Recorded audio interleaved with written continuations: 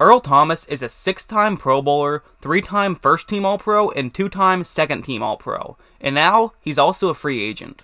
He has a reputation of being a ball hawk, and for very good reason. Take a look at this play, for example. It's a cover three zone, and those that are routes that they're going to be going up against. And you're going to want to take a look at that route right there, as it could get into a gap in coverage right in the middle of the screen. Many safeties would just play this safe. They just stay back and make sure nothing gets past them and allow the receiver to make a catch in front of him and then just make a tackle. However, Earl Thomas isn't one for playing things safe. He sees the route and he's going to end up jumping in front of it and picking off the ball. It's a great play by Earl Thomas, and quite frankly, he makes those types of great plays look routine. This one's another good example. It's a cover 2 man, and those are the routes that the Seahawks will be going up against. And once again, you're going to take a look at there's a route right underneath that zone where he's at that could end up getting open and traditionally would end up getting open on a play like this. So far, this play's working out pretty well for Houston, but take a look at what Earl Thomas does here. First off, look at how far in he's playing. He's several yards further in than the other Seahawks safety, and he's ready to try to make a play if Deshaun Watson does try to force it to his number one receiver in DeAndre Hopkins. This really isn't that bad of a play by Watson. This is the play that should have worked on paper. However, Earl Thomas just did a great job and made a great read on this play. And also worth noting that he has so much acceleration that after he picks it off, he's able to run past everybody and get all the way into the end zone for a touchdown. I mean, this is just a ridiculous play. And this is not a play that many players can make. While those two plays are probably what makes him shine the most, he can still play the more traditional parts of being a safety as well. As you see, Thomas is the one safety that's currently deep, and it's going to be a play action, and the Houston Texans are going to have all their routes be going to the top half of the screen. So what's really interesting to me is look at how quickly Thomas reads this play and realizes that all the routes are going to the top half of the screen. He's then very easily able to just creep up to that top half of the screen and be in position if someone does try to make a play. Also, if you take a look, Richard Sherman actually abandons his assignment and runs up to make a play and intercept the ball, and he feels like he can do this because he has the confidence that Earl Thomas is behind him. He knows that if he misses the ball, Earl Thomas will still be able to make a tackle, and it won't be a disaster, it'll just be about 15-20 yards. And just so everyone knows, I'm not taking these plays from 2013. I'm taking these plays all from either 2018 or 2017, the past two seasons of play. The only reason I didn't make all the plays from last season were just because Earl Thomas only played a few games and I wanted a bigger sample size. But anyways, let's get into some of the teams that I could see Earl Thomas fitting in nicely with, and one of those teams is the Dallas Cowboys. This is a team I could definitely see going after Earl Thomas. For one thing, they've already considered going after Earl Thomas. They reportedly really tried to get him last offseason when the Seahawks were thinking about trading him, and so I fully expect them to at least make an effort to try to get him now that he's a free agent. He really could help them too. Like on a play like this, this was in their wildcard game against the Rams, and they were running a cover 3 zone, and those were two of the routes that the Rams were running if you take a look, there is a route right there that could get open just underneath that safety. However, take a look at the Cowboys' free safety on this play. He's playing incredibly far deep. Now, this is a little bit different than his past plays because this is a cover three, meaning that he does have to be aware of any potential movement from either side. However, he still does have enough room where he shouldn't be this far back. And because the play action drew linebackers inside, this now makes a huge window for Goff to be able to make an easy pass for a big gain. I mean, this was too easy for the Rams. Another play from that same game was this one. As you see, they're going to run a play action to the bottom half of the screen, and then they're going to have a tight end move out to the top half of the screen. And because he was able to get open, at this point it becomes pretty simple. There is a ram and a cowboy, and where they should just collide at a certain point. And yes, Walter Ram is closer to the sideline than the Cowboy. This should now allow the Rams to have a little bit of an advantage in that situation. However, it's also worth mentioning that he has to make a catch. So it's nothing really too huge here, but you would expect if this was a traditional, you know, mediocre play, you expect the tackle to be made right about there, right? And maybe if it was a really good play where the safety made a perfect read and was able to quickly run over there and make a tackle, you could even see it happening right about there. However, if you notice, the tackle ends up happening only just one yard further from where the Cowboy was right when I initially stopped that play. This isn't a terrible play by any means. At this point, he just wanted to make a tackle and wasn't too concerned about giving up five yards or so. But I think it's worth noting that these aren't the types of plays that Earl Thomas makes. Earl Thomas makes game changing plays, makes very good plays. The Cowboys' safety situation isn't atrocious. I mean, they were a very good defense last year. They have some solid players. But I think Earl Thomas could be a huge addition to turning them from a good defense to a great defense.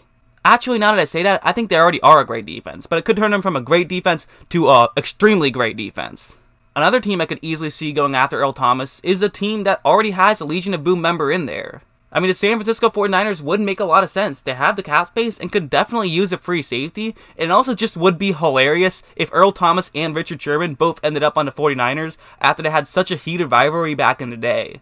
Like, take a look at this play. It's pretty much the same play I've talked about in the past, but I think it's worth mentioning here. Once again, it's a cover 2 zone, and those are the routes that the Rams will be running. So there should be a route right there that could get open. And once again, this is the type of situation that if Earl Thomas was in on this play, it should be an easy pick six by the way that that guy plays. But the reality is, he could have at least broken in and knocked the ball away. But the 49ers are going to have a much more passive approach on this play. As you see, the receiver is now pretty well open. The safeties are much farther back, and a big part of that is because they can't accelerate quite like Earl Thomas can, so they can't allow someone to get past them, but they do have to play farther back, and this now means that the receiver is pretty well open. In fairness to one of those safeties, he also has to be aware of the ram on the bottom half of the screen, so he kind of has to play both sides in that situation. However, the other safety has nothing going on on his side of the screen, so he really should look down and be ready to make a play. But again, most safeties aren't Earl Thomas, and this ends up being a big catch for a big gain by the Rams. It's worth mentioning that that 49ers defense has a lot more problems than just one safety position. However, it's worth mentioning that a safety can really do a lot to help your defense as a whole get better. Like on play like this, for example, it's a pretty simple play. It's going to be play action, and then they're going to send a receiver out to the top half of the screen. And if you take a look, the play fake works pretty well. There's now a receiver who is completely open, and really the only guy who has a chance of making a play now is that safety who's all the way very far away from him. Now, again, I'm not expecting a safety to be able to, you know, get a tackle instantly on this play because this is just a bad play by the rest of the 49ers defense and he's in, you know, recovery mode. However, you should at least be able to make a tackle and not give up a touchdown on a play like this. And again, it feels almost unfair comparing these guys to Earl Thomas. However, that's the comparison that's going to be made when, you know, you're thinking about signing Earl Thomas. Is how much of a benefit could he give you to from what you already have? I want to show you another clip from that same game. However, this time on the opposite side of the ball, as the next team I could easily see getting Earl Thomas would be the Detroit Lions. If you take a look, the 49ers are going to be faking a play action, which is going to draw the Lions linebackers further in, and then they're going to send a receiver out who would hopefully get past those linebackers and get open. And it's a good route to run as a defensive back who's in charge of guarding him would have to break a lot more in to get in his way, meaning that really the only guy who can make a play here would be that safety. As you see, it's a catch right away, which eh, you can't really blame the safety for too much. I mean, he could have maybe tried to break in and make a deflection on the pass, but that would have been really tough. It probably is a smart move in a situation like this to just try to avoid a touchdown. However, he ends up completely missing the tackle, and it results in the 49ers getting into the end zone on this play. This next play is another good example of how great free safety could really help the Lions. Another team I could see going after Earl Thomas is a team that definitely doesn't need Earl Thomas. However, they probably would like to have Earl Thomas. The team I'm talking about is the Saints, and the Saints have clearly been in all-in mode these past couple of years, as they know Brees doesn't have a ton of time left, and they really want to get one more championship before he retires. I think Earl Thomas could be a great veteran presence in that secondary, and actually just be a great player in that secondary. As you see on a play like this, the Saints are running a cover one hole, and it's worth noting that the linebacker in that cover one hole is actually playing a lot farther down to the middle of the screen than he typically would in a more traditional cover one hole. So as you see, he's guarding that bottom of the screen and actually probably creeps over even further to the bottom half of the screen, which now allow a Viking to pretty much get wide open downfield. So typically, the only guy who'd be able to make a play on this would be the safety. However, the problem with that is the Saint safety is about 30 yards away from the receiver on this play. He's looking to be covering that top half of the screen, and it actually looks like it was designed for him to keep an extra eye on the top half of the screen, which is why the middle linebacker ended up playing a lot closer to the bottom half of the screen. However, because of this, it's now allowed a receiver to get wide open. Stefon Diggs makes an easy catch here, and with some open space, he's able to pick up even more yards. It wasn't a terrible play from that safety, but if he had the awareness of Earl Thomas, he could have much more likely been able to get into that play, and if nothing else, at least stop the catch from not going for as many yards. This next play is another good example of how Earl Thomas could have really helped the Saints in their playoff run last year, as this is the play from the NFC Championship when the Saints were up 3, so it was crucial for them to get a stop here. The Rams are going to have a route that cuts right before that safety zone on the top left hand corner of the screen, so that's where they're going to be looking to throw the ball to.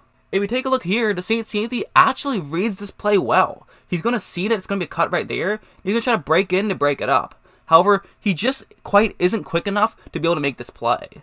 It wasn't a bad play, but it just wasn't an Earl Thomas level of play. And I know maybe people might be concerned about the fact that Earl Thomas is getting up there in age, but I mean, the guy's 29. He's not 40. He still clearly has years left. And the past couple seasons, he has been playing very well, so I wouldn't be really too concerned about that. Personally, I could really see Earl Thomas helping all of those four teams I just mentioned, and I'm really going to be interested to see if he ends up going to one of those teams or if he goes somewhere completely different.